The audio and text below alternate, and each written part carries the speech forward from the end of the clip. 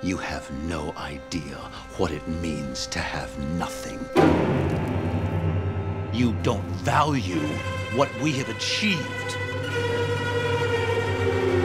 I have had to fight for everything my entire life.